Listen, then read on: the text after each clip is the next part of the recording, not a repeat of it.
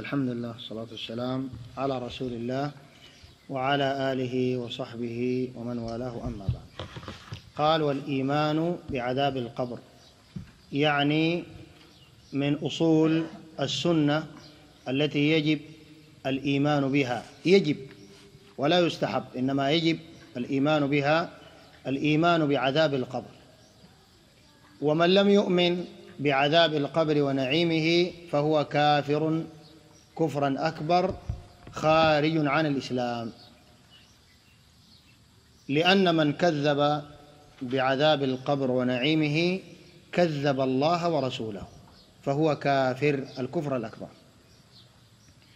وقد ثبت عذاب القبر ونعيمه في الكتاب والسنة. من القرآن قول الله سبحانه وتعالى في شأن فرعون وآله. قال النار يعرضون عليها غدوا وعشيا. ويوم تقوم الساعة أدخلوا آل فرعون أشد العذاب. ونحن نعلم أن الدور ثلاثة. دار الدنيا ودار البرزخ ودار الآخرة. دار الدنيا ودار البرزخ ودار الآخرة. قال الله عن آل فرعون النار يعرضون عليها غدوا وعشيا الآن يعني. والمعلوم أن فرعون وآله قد انتقلوا من الدار الأولى وهي الدنيا. وكذلك المعلوم أن الدار الآخرة يوم القيامة لم تأتي بعد. إذن يعرضون عليها غدوا وعشيا في البرزخ والبرزخ هو الحاجز. يعني ربنا ما قال عن آل فرعون النار يعرضون عليها غدوا وعشيا ما في الدنيا لأنهم ماتوا. ولا ما ماتوا؟ إذا انتقلوا من الدنيا. ولا يوم القيامة لأن يوم القيامة لسه ما جاء. إذا النار يعرضون عليها غدوا وعشيا لا في دار الدنيا ولا في يوم القيامة. إنما في دار ثالثة وهي البرزخ لأن الدورة ثلاثة دار الدنيا ودار البرزخ ودار الآخرة.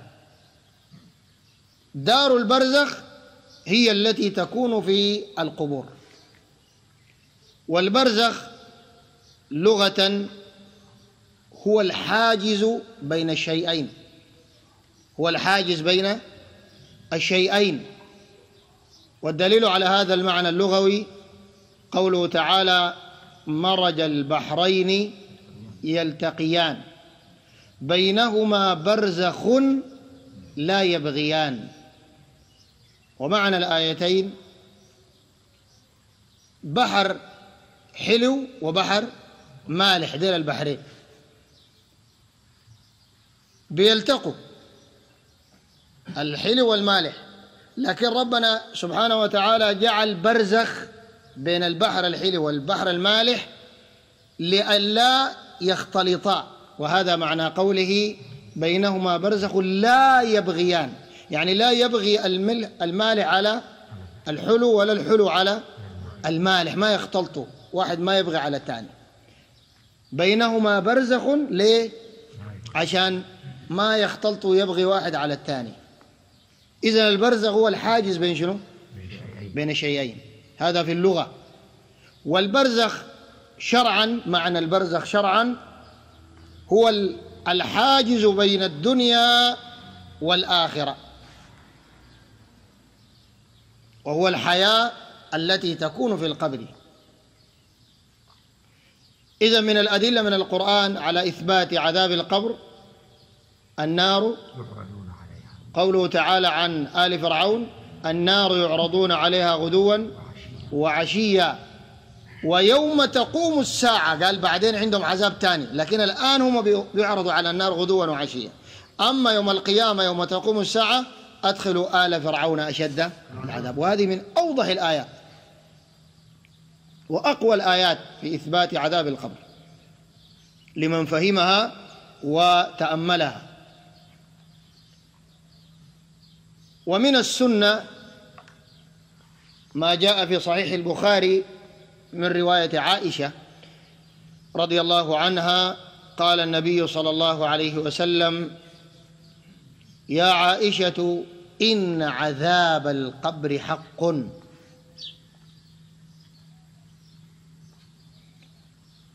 وما جاء أيضا في صحيح البخاري أنه صلى الله عليه وسلم مر بقبرين وقال إنهما يعذبان وما يعذبان في كبير بلى إنه كبير. أما أحدهما فكان يمشي بالنميمة بين الناس. وأما الآخر هنا أخونا وأما الآخر ها؟ نعم فكان لا يستتر من البول.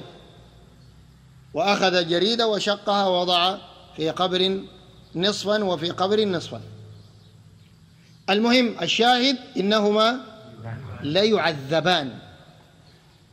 وما يعذبان في في كبير.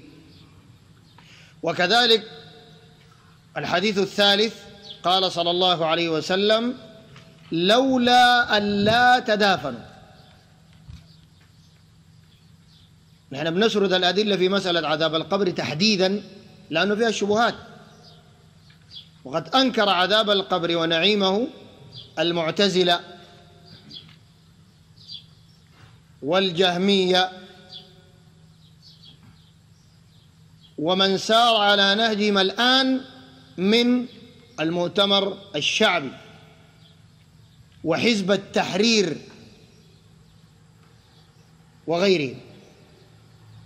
فدي شبهات بيجيبوها. لابد أن تتسلح بالأدلة من الكتاب والسنة تتسلح بالعلم لتدافع عن الإسلام. أيضا من الأدلة على إثبات عذاب القبر قال النبي عليه الصلاة والسلام لولا ألا تدافنوا لولا ألا تدافنوا. لدعوت الله أن يسمعكم من عذاب القبر الذي أسمع.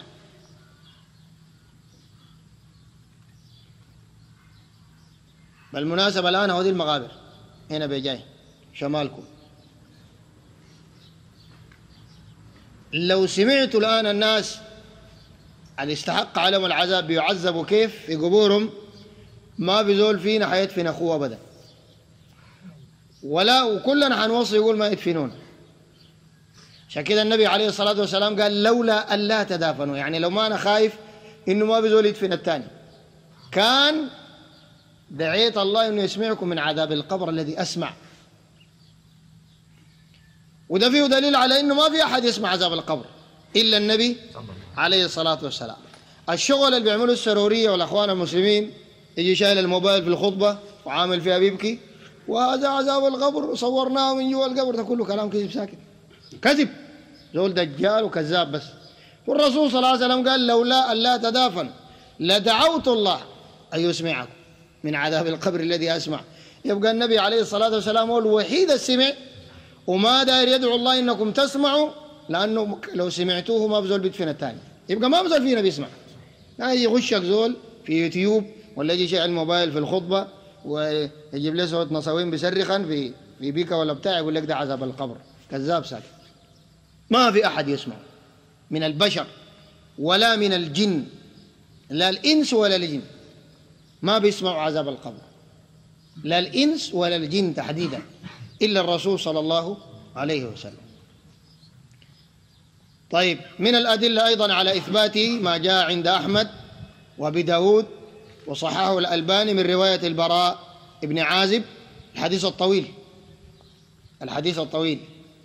انتهينا إلى جنازة رجل من الأنصار فجلسنا عند القبر وجل جلس النبي صلى الله عليه وسلم وجلسنا حوله ولما يلحد فأخذ عودا ينكت به في الأرض وينظر إلى السماء ثم قال إن المؤمن إذا كان في انقطاع من الدنيا وإقبال على الآخرة. إلى آخره. حديث الطويل معروف عندكم وغيرها من الأحاديث من الآيات والأحاديث في إثبات عذاب القبر وقد أجمع المسلمون وأجمعت الأمة على إثبات عذاب القبر ونعيمه ومن أنكره كفر وخرج من الإسلام. طيب ما هي شبهات الذين ينكرون عذاب القبر؟ مما ينكر عذاب القبر متولي الشعراوي المصري ده. غاش الجماعة وملصقين صوره في العربات. زول دجال ساكت. ينكر عذاب القبر ونعيمه. ومما ينكر عذاب القبر ونعيمه من الدعاة دعاة الضلال المعاصرين المدعو أيضا عدنان إبراهيم. والترابي وغيره. طيب شبهاتهم شنو ديل كلهم؟ والكلام ده قديم يعني أمه يقول لك ده تجديد في الدين. لا لا لا. ده أخذته من المعتزلة بدري بدري خالص. ما في تجديد ولا جدد أي حاجة حتى الباطل شالوه من الناس قباله. حتى الباطل شالوه من الناس قباله. قالوا المعتزلة بدري الكلام ده. طيب شبهاتهم شنو؟ ليس لهم دليل لا من القرآن ولا من السنة أبدا. لأن القرآن والسنة يثبت عذاب القبر ونعيم القبر. أدلتهم كلها شبه عقلية. أقواها يقول لك الآن لو فتحنا القبر ما بنلقى بيعذب لا في نار مولعة ولا بنلقاه جنبه تفاح ولا غير ولا غير. إذا ما في عذاب قبر. طيب بنفس الدليل العقلي. الآن تتكلم مع أخوك بالجهاز والموبايل صحيح؟ في أمريكا. وما بتشوف كلام طاير في الهواء. خلاص إذا ما في كلام أصلا. وكونك ده أخوك ذاته ده وهم ده ما أخوك. صحيح ولا ما صحيح؟ لا لا مولاي تكنولوجيا خلاص. إذا استطاع البشر ذلك فرب البشر. يستطيع كل شيء وهو على كل شيء قدير. بس بمفهوم بسيط يا جماعة. وحاجات كثيرة في الدنيا دي عملوها البشر وصنعوها البشر هي غريبة. كذلك الرد الثاني ولك لو فتحنا ما بنشوف العذاب ولا النعيم. ليس كل من لا ما لا يرى فهو معدوم. ليس كل ما لا يرى فهو معدوم. مثلا العقل والروح. الآن تسأل ذاته المعتزلة ده أو الشعبي أو غيره قل له أنت في جسمك في روح ولا أنت ميت؟ يقول لك كيف يعني؟ عندي روح. هل رأيتها؟ إذا قال أيوة طبعا ده مجنون. وطبعا هيقول لا مش كده؟ إذا كان عاقل بيقول لا. الروح موجودة وقد أثبتها وآمنت بها مع أنك لم ترها. إذا ليس كل ما لا يرى معدوم. صحيح ولا ما صحيح؟ العقل. العقل ده أسأله ولا أنت عاقل ولا مجنون؟ يقول لك يا زول كيف أنت بتنبذني ولا شنو؟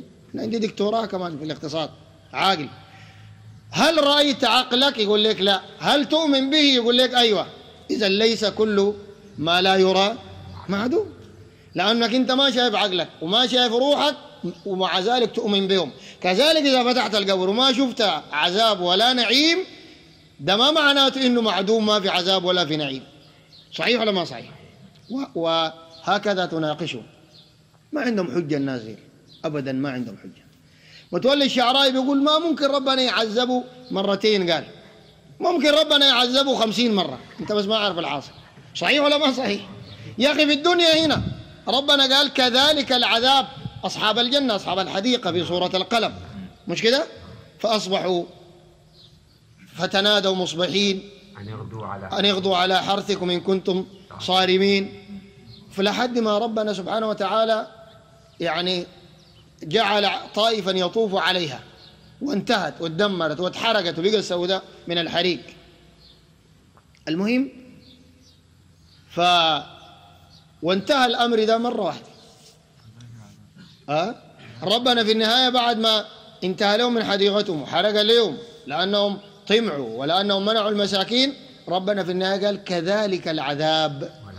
ده هسه بعدين يوم القيامة؟ ولعذاب الآخرة أكبر. لو كانوا يعلمون. خلي القبر. هنا في الدنيا في عذاب. بنص الآية دي. فقال خلاصة شبهة متولي شعراوي. طبعا يتوضح لهم كده بغش الجماعة. قال ما ممكن ربنا يعذبه مرتين؟ قال ممكن ربنا يعذبه 700 مرة. صحيح ولا ما صحيح؟ يمشي هنا ده زول الدقف. ده عذاب. ابتلى من ربنا. يكون رافع راسه بعين في الموبايل فاتح الواتساب كراعه تزلق يقع في الخور. ده نوع من العذاب. في النهاية ابتلى من ربنا. صحيح؟ يركب لي حافله يطق دفار يدينه يتكسروا الاثنين. نوع من العذاب. بعد ده عقوبة له رفع لدرجته ده موضوع آخر. لكن برضه نوع من العذاب. ولا ولا ولا ده كيف؟ عذاب ولا ما عذاب؟ عذاب. لكن الرجل ما فاهم حاجة. غش استخف قومه فأطاعوه. وده الحاصل الليلة. إنه دعاة الضلال الليل هم ضيعوا كثير من الأمة دي بالمناسبة. عشان كده النبي عليه الصلاة والسلام قال غير الدجال أخاف عليكم أو أخوف عليكم. يعني قال في حاجة أنا بخاف عليكم أكثر من المسيح الدجال ذاته. قال وإنما أخاف على أمتي الأئمة المضلين. أكثر خوف وأكثر بلوى ابتلوا بها الإسلام والمسلمين هم دعاة الضلال وأئمة السوء زي ديل. ولمعهم الإعلام عمل لهم هالة. فضيلة العلامة فضيلة الدكتور فضيلة البروفيسور فضيلة ما بعرفه وتلقى أجهل من حمار أهله. يغش الأمة وينكر أشياء أثبتها الله في القرآن وأنزلها من السماء وقالها رسول الله صلى الله عليه وسلم. ودي دي المصيبة الليلة بالمناسبة أكبر مصيبة علماء الضلال دي. هم نشروا الشرك وجوزوا للناس. هم نشروا الكفر وسوغوا للناس. هم نشروا الإلحاد وبرروا للناس. هم اللي أنكروا الدين وحاربوا التوحيد وحارب هم ديل. كده الرد عليهم حربهم واجبة بل من أوجب الواجبات. لكن ما تكون إلا لمن؟ تعلم العلم الشرعي الصحيح. وكذلك نؤمن بنعيم القبر. زي ما في القبر في عذاب في القبر في شنو يا جماعة؟ في نعيم. ينعم الإنسان في قبره. ونؤمن بمنكر ونكير. وهذان ملكان. بعض بعضهم قالوا ده ما ملكين. قالوا منكر ونكير لكن ما ملكين. ده عمل صالح وعمل لا هذا غير صحيح. منكر ونكير ملكان. بنص الحديث. قال النبي صلى الله عليه وسلم فإذا وضع في قبره أتاه ملكان أزرقان يقال لأحدهما المنكر ويقال للآخر النكير قال فينتهرانه ويجلسانه فيقولان له من ربك ما دينك ماذا تقول في الرجل الذي بعث به إذا ده الملكين وبرضه من شبهاتهم الترابي قال قال يخشوا جوا القبر يخشوا كيف؟ قال ملكين كبار قال يخشوا جوا القبر؟ أي بيخشوا. أنت لما بتمشي عندك وجع بلعوم هنا ده بيعملوا لك بالاشعه ولا بيخش ذاته كمان ده ده كمان عجيب. من بعيد يصوروا لك جوا ذاته شنو صحيح ولا ما صحيح؟ ويدخلوا لك منظار وفيه كاميرا كمان. جوا يوريك جوا في شنو هناك جوا. كلت شطة كلت طحنية كله بوريك. فكيف ربنا سبحانه وتعالى ما يستطيع ذلك؟ ناس ناس عجيبين خلاص. ويقيس قدرة الله عز وجل على قدرتهم هم وبعقولهم الفاسدة الناقصة القاصرة. يقول لك ما ممكن يعني يخش. يا أخي ربنا داير يخش جوا عينك بيخش. صحيح ولا ما صحيح؟ إن الله على هو ربنا خلقك. بعد أن كنت عدما وفناء محضا وصرفا. ربنا خلقك ولم تك شيئا. ما يقدر يعمل كده؟ يقدر يعمل كده. شبهاتهم الثالثة والأخيرة يقول لك طيب في ناس الوحوش أكلتهم والتماسيح أكلتهم وفي ناس يتفجروا. وهذيل الله يلم فيهم وين طيب لما كنت ما في أصلا ربنا لما فيك وين خلقك جابك؟ كده سؤال برضو. ويا طول أصعب تخلق من عدم وفناء وكنت ما في خالص. ولا تعاد بعد ما مت ووجدت يا طول أصعب الأصعب الأول. عشان كده النبي عليه الصلاة والسلام قال يشتو قال الله تعالى يشتمني ابن آدم. حديث البخاري. ويكذبني ابن آدم. قال فأما تكذيبه إياه أما شتمه إياه فقوله قد اتخذت ولدا وأنا الواحد الأحد الفرد الصمد. الذي لم ألد ولم أولد. وأما تكذيبه إياي فقوله لن يعيدني بعدما يميتني وليس أول الخلق بأهون علي من إعادته وليس أول الخلق بأهون علي من شنو؟ إعادته يعني أول الخلق أصعب. ربنا لما خلق الجبال ده أصعب مما يعيدك بعد ما يموت يحييك تاني. ده أسهل. كونه تموت ويرجعك تاني ده أسهل. الأصعب ياتو الخلق الأول لأنه كنت أصلا أنت فناء كنت عدم كنت غير موجود. ذاك أصعب. فربنا قدر ربنا يخاطبنا بعقولنا. ربنا قدر على الأصعب. ما يقدر ما يقدر على الأقل والأسهل من الأول. وليس أول الخلق بأهون علي من إعادتي.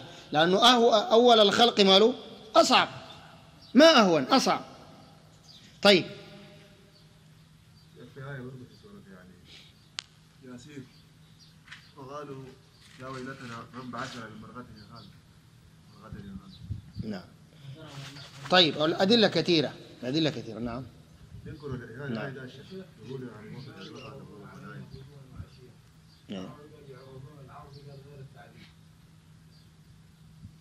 طيب ربنا قال النار. النار. النار دي فيها تعذيب ولا فيها نعيم؟ الله قال النار يعرضون. وما يقرأ من كلمة النار؟ النار يعرضون.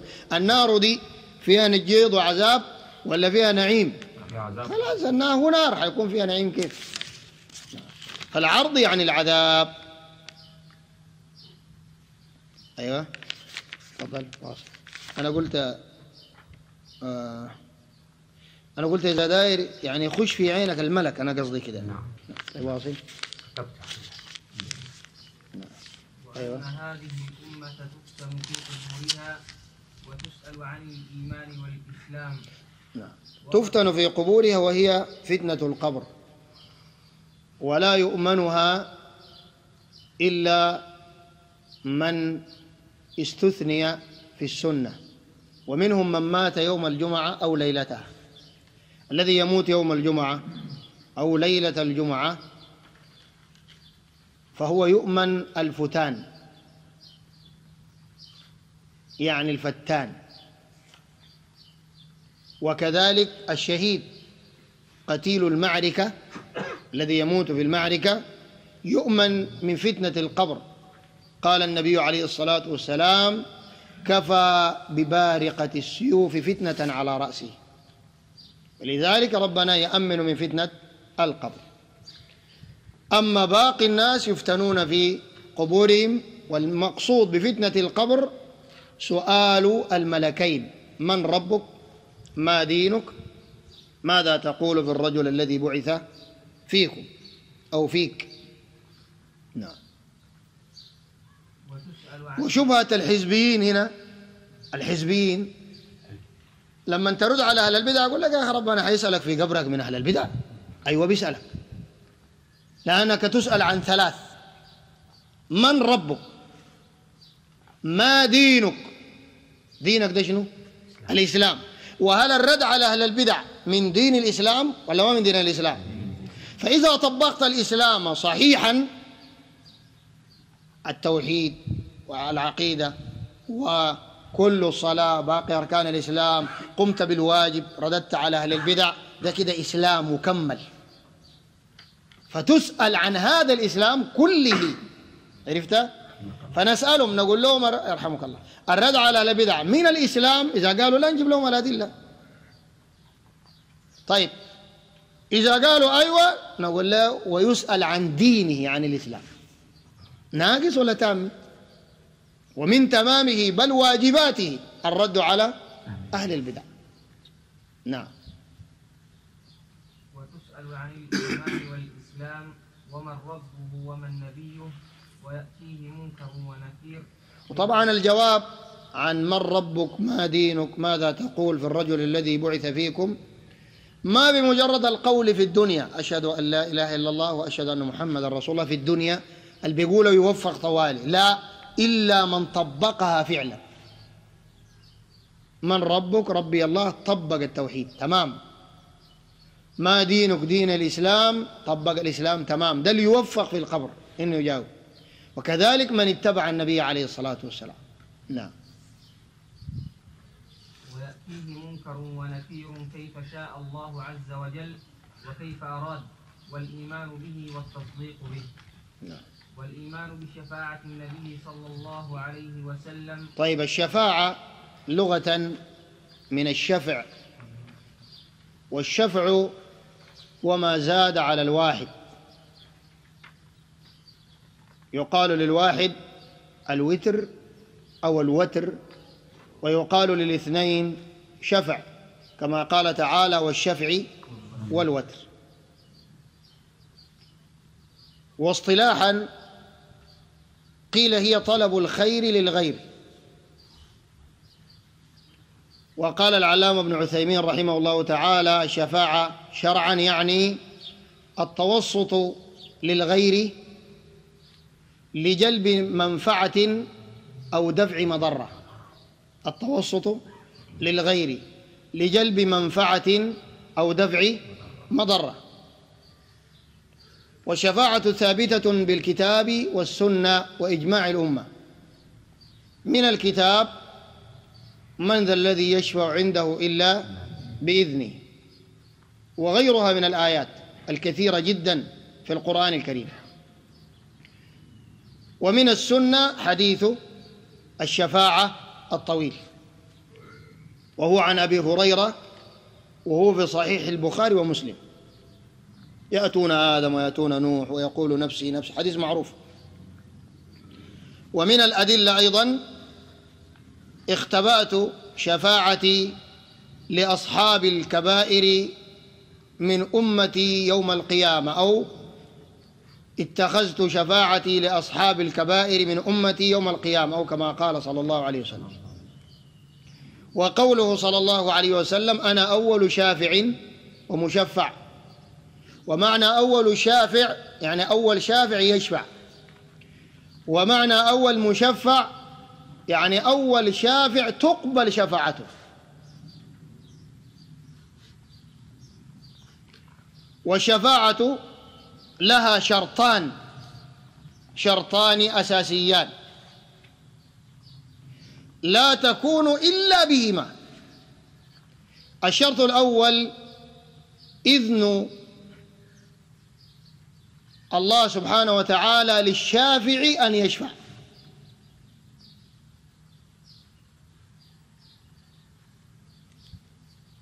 أن يأذن الله سبحانه وتعالى للشافع الذي يشفع أن يأذن له بالشفاعة. الشرط الثاني رضاه تبارك وتعالى عن المشفوع له. والدليل على هذين الشرطين قوله تعالى وكم من ملك في السماوات لا تغني شفاعتهم شيئا إلا من بعد أن يأذن الله لمن يشاء. هذا هو الشرط الأول. ويرضى. هذا هو الشرط الثاني. أن يأذن الله لمن يشاء هذا إذن الله للشافع أن يشفع للمشفوعين. ويرضى هذا هو الشرط الثاني أن يرضى الله عن المشفوع له.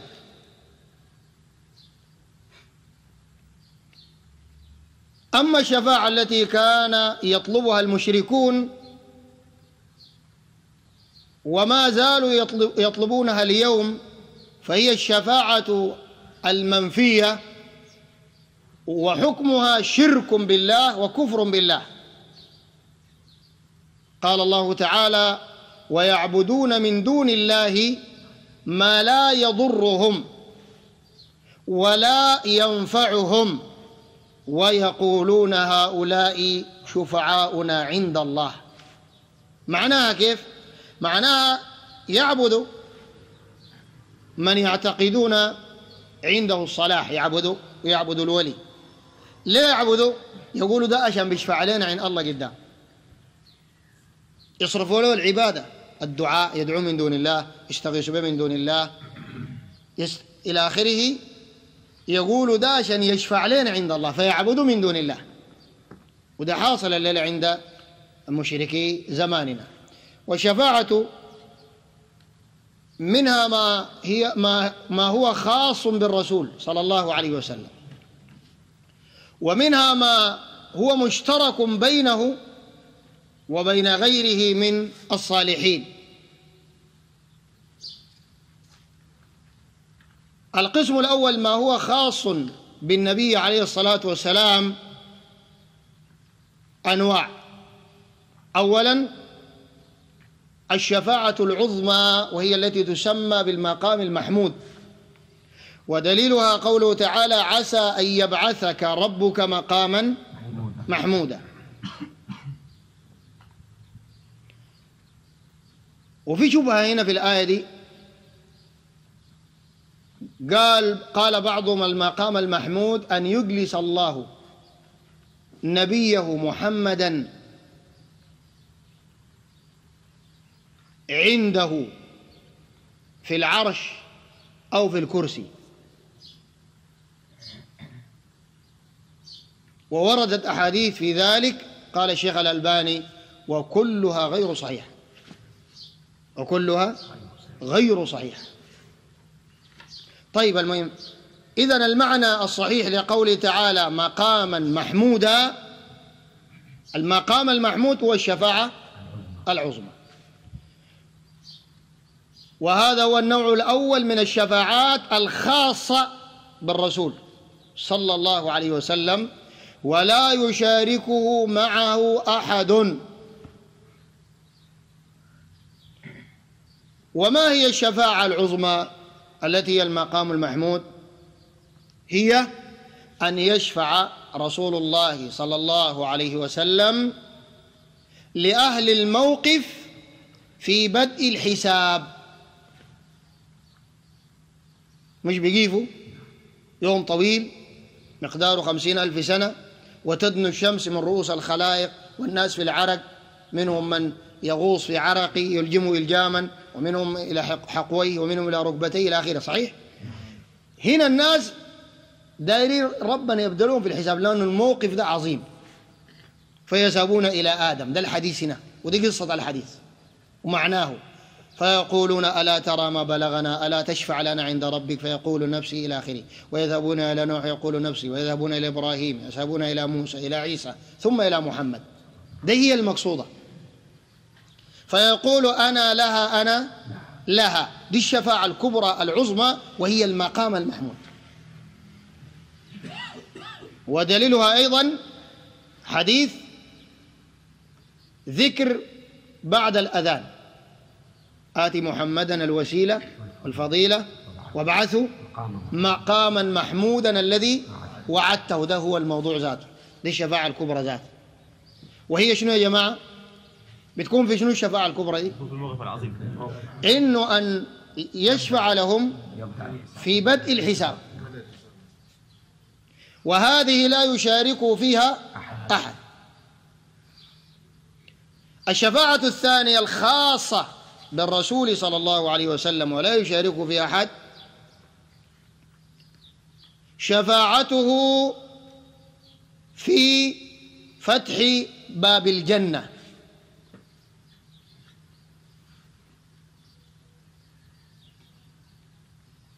ما جاء في المسند قوله صلى الله عليه وسلم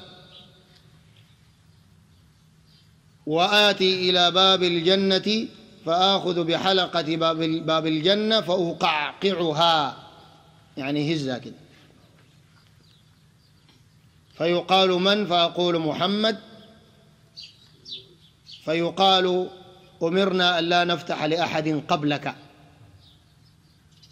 دي شفاعة الخاصة بالرسول صلى الله عليه وسلم. رقم كم؟ اثنين. الثالثة الخاصة بالنبي عليه الصلاة والسلام شفاعته لعمه أبي طالب. ودليلها في البخاري قال صلى الله عليه وسلم لما قال له العباس هل نفعت عمك يا رسول الله أبا طالب؟ قال نعم. قال فإنه كان يحوطك ويحميك. قال نعم. قال كان في قعر جهنم فشفعت له حتى صار في ضحضاح من النار. وأيضا الحديث الآخر في الصحيح قال النبي عليه الصلاة والسلام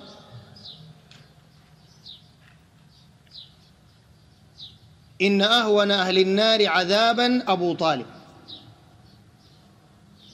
موضوع في أخمص قدميه جمرتان من نار يغلي منهما دماغه كما يغلي المرجل بالقمقم. القدرة القدرة دي بتاعت الفول أو البليلة. المرجل ده زي الكانون يعني اللي بخطوا فيه الجمر والقمقم ده شنو؟ دي القدرة دي. فيغلي منهما دماغه كما. هو السخانة ما نفس السخانة ديك نار جهنم. أشد حرا.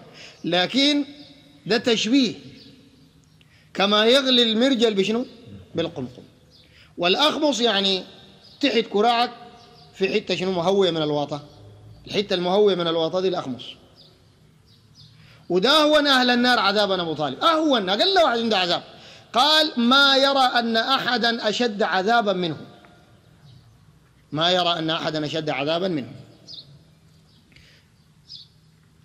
هذه الشفاعة الثالثة الخاصة بالنبي عليه الصلاة والسلام. أما الشفاعات المشتركة بينه وبين غيره من الصالحين أولا شفاعته لأهل الكبائر والمعاصي من المسلمين. كما قال صلى الله عليه وسلم جعلتها لأهل الكبائر من أمتي يوم القيامة. وهذه ينكرها المعتزلة والخوارج والجهمية. وينكرها الآن الإباضية وغيرهم والخوارج الآن ينكرونها تماما. لأنه عندهم أن من استحق العذاب لا يستحق النعيم. يعني بخش النار تاني ما بيطلع بس كافر مسلم خشة تاني ما بيطلع. طيب النوع الثاني من الشفاعات المشتركة شفاعته لمن استحق النار أن لا يدخلها. الأول ذاك لمن دخل النار أن يخرج منها أهل الكبائر. الثاني لمن استحق النار أن لا يدخلها الثالث شفاعته لمن دخل الجنة وكان في درجة دنيا أن يترقى إلى درجات أعلى. أن يترقى إلى درجات أعلى. شفاعته لمن دخل الجنة في درجات دنيا أن يترقى إلى درجات أعلى.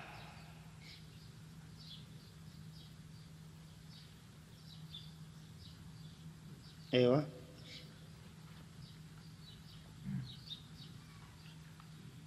وبقوم والإيمان بشفاعة النبي صلى الله عليه وسلم وبقوم يخرجون من النار بعدما احترقوا وصاروا فحما فيؤمر بهم إلى نهر على باب الجنة كما جاء في الأثر كيف شاء الله. هؤلاء يسمون بالجهنميين كما جاء في صحيح البخاري. قوم بعدما دخلوا النار وصاروا حمما يعني فحما. فيخرجون من النار وبقوا زي الفحم من الحريق. فيلقون في نهر يقال له نهر الحياة أو الحياة. كل جاء الرواية به وهذا النهر ماؤه روي أن ماءه كمني الرجال. فيدخلون فيه فيخرجون كاللؤلؤ. شوف قبل كانوا محرقين صح؟ الآن يخرجون كاللؤلؤ على رقابهم الخواتيم. فيدخلون الجنة. فيقول أهل الجنة هؤلاء الجهنميون الذين دخلوا الجنة من من غير عمل عملوه ولا خير قدموه. لكن ديل الحديث ذاته طويل هو. ديل لما طلعهم رب ربنا سبحانه وتعالى من النار وطلعوا بشفاعة قال ممن يشهد أن لا إله إلا الله. وقال في لفظ ممن كان في قلبه مثقال حبة من خردل من إيمان يعني من توحيد. ويشهدون أن لا إله إلا الله يعني موحدين. عندهم توحيد لكن عندهم معاصي كثيرة. بعد ما يحترقوا في النار ويصوروا فحم بعد ذاك يطلعوا يدخلوا في النار إذا بعد ذاك يخشوا الجنة. فكان عندهم توحيد لكن ما عندهم أعمال صالحة كثيرة بس التوحيد. فيدخلوا وعندهم معاصي كانت كثيرة. فغلبت عليهم فدخلوا بسببها النار. وده من فائدة يا جماعة إنه الإنسان ما يكون مرجي زي الفقه بتاع الدجال. يقول لك واحد تابنجو هاي معانا طوال يخش معانا. أنت بتذكر بالجوره خضراء معانا معانا. الكلام ده باطل يا ناس. ده باطل من أبطل الباطل. والكلام ده فيه نوع من الإرجاء. وفيه تهويل للمعاصي. يعني ارتكب المعاصي. طالما أنت ما تمشي القبة ولا بتعلق تميمة ولا بتعبد الشيخ أعمل الداير وده كلام باطل. لأنه المعاصي بتدخلك وين؟ النار هو ده دخلوا النار.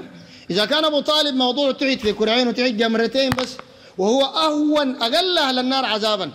قال ما يرى أن احدا أشد منه عذابا. ويغلي منهما دماغه كما يغلي المرجل القمقم.